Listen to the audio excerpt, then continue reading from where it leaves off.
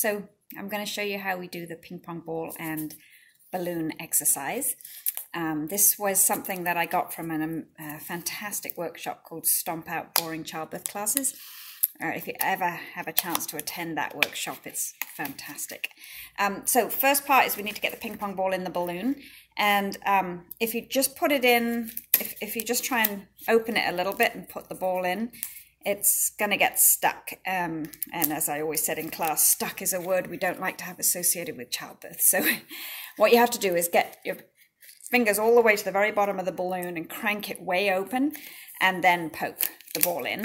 And then you have that. And I would usually have the class do that, um, you know, stuff their own balloon. It was always fun and, and we'd have a good joke about it. And um, so then we've got that ping pong ball in there and we're going to inflate it about halfway about, about like that.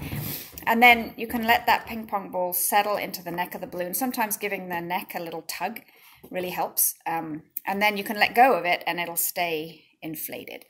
And I show people how if you just squeeze the side of the balloon like this, not much is happening to the neck of the balloon here and it's not opening very much. These are the Braxton Hicks contractions that are just practice contractions that are more and more common towards the end of pregnancy, um, but they don't do all that much to what's happening to the cervix. So real contractions happen at the top of the uh, of the uterus. That's where the uh, power of contractions happens. It's the muscle fibers at the top here getting shorter and thicker, which squeeze the top and then pull up on the side of the uterus here. And just like with real contractions, I have everybody just squeeze and then let go and then just squeeze and let go. You just have to do a little bit at a time. And you can see how we're getting that effacement or thinning of the cervix down here. And not much dilation is happening while we're still working on shortening the cervix here.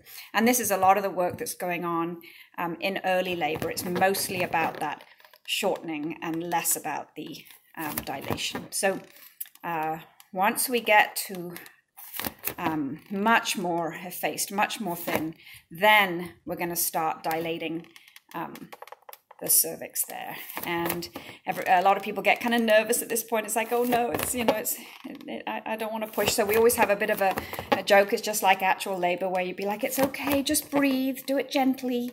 Um, you're stretching beautifully. And, um, and then just, just give it one more push and, and the baby will be here there you go. and it's always just an absolute riot in class. Everybody um, laughs and, and um, ha has a blast with it. And I uh, always tell class, um, uh, take it to your uh, young kids, and you know if they, if they're um, if they already have kids, and this is a refresher class, show um, your older kids because they think it's kind of funny. That's how babies come out. And um, if you're at a boring office meeting, take it along to that too. So anyway. I'm so glad you're going to become a childbirth educator. That's so thrilling to me.